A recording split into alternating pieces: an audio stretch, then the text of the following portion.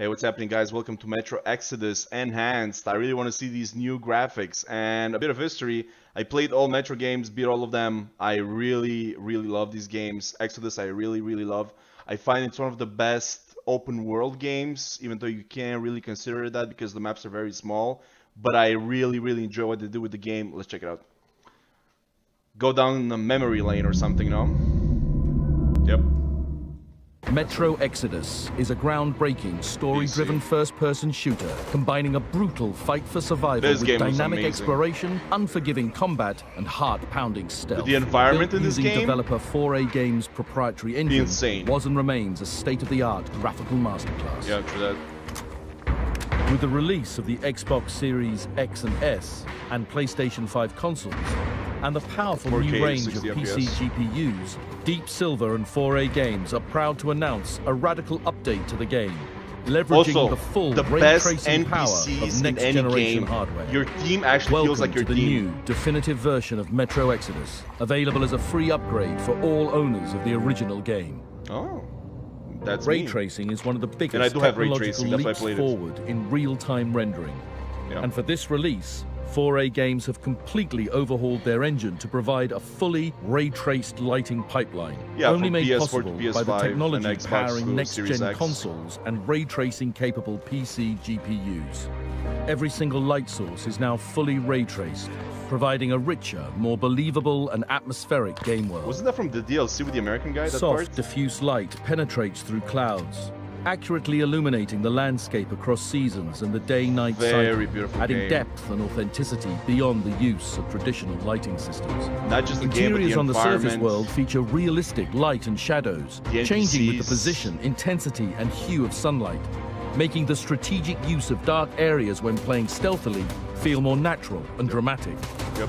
With the inclusion of ray-traced emissive lighting, this simulation even extends to dynamic light produced by campfires, muzzle flashes, The cannonballs, incendiary grenades, and flamethrowers. Wow, that looks so to complement sick. these dramatic advances in lighting and overall visual fidelity and performance, the included 4K texture pack adds an unrivaled level of detail to everything from gun models to Spartans, structures, and enemies. The addition of a field of view slider will give users the ability to widen their field of vision to suit their preferred playstyle, yeah. or just soak in the view. Yeah, absolutely, man. Th- There are On parts of this Xbox game where you Series just soak it in. And PlayStation 5, Metro Exodus will now run at a rock-solid 60 frames per second at 4K resolution. That's good. With full ray-traced global illumination and emissive lighting implemented throughout. On Xbox Series S, Metro Exodus outputs at 1080p, 60 frames per second, with all other enhancements applied. Next-gen consoles will also benefit from dramatically reduced loading times thanks to the lightning-fast SSD storage, and additionally will support a host of platform-specific hardware features, including 3D audio and support for the PlayStation 5 DualSense controller. The boss. At the church. Or the cemetery, the graveyard. The Metro Exodus PC Enhanced Edition is much more than a patch. Delivered as an extra entitlement to PC owners of the game, this extensive standalone edition requires a ray tracing capable GPU as a minimum system requirement. I have it. The PC Enhanced Edition also includes advanced ray traced reflections, as well as DLSS 2.0 support on Wow. NVIDIA hardware, The which offers sharper man. image details and increased frame rates and display resolutions. There's only Metro, nothing else.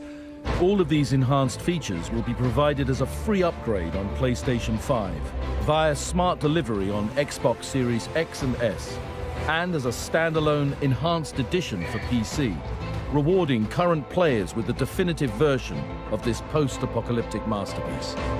And for newcomers, the Metro Exodus Hated Complete Edition offers the original game, both DLC expansions, and all these enhancements in one incredible bundle.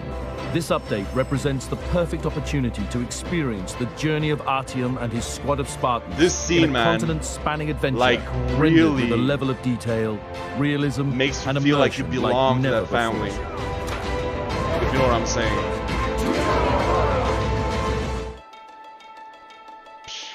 Damn. When's Metro 4 coming out?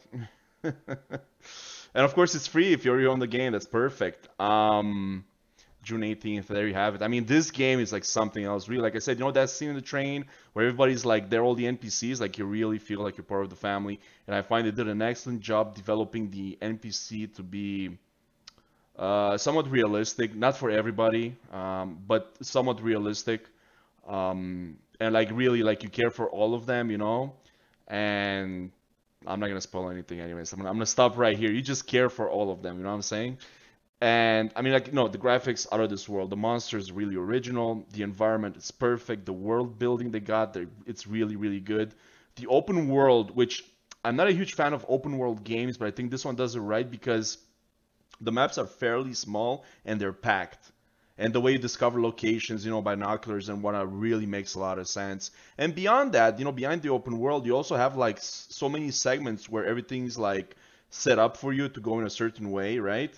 Uh, everything's predetermined, and like you have like these incredible action scenes or like these incredible tense scenes, and that really fits the the game, I believe. You know, because you go from a from a open world to like a cinematic sequence, like open world, like another cinematic, and so on and so forth. It's really cool, depending on where you go in the open world. Um, it's it's really really a job well done. I mean, again, the the attention to detail in this game is out of this world.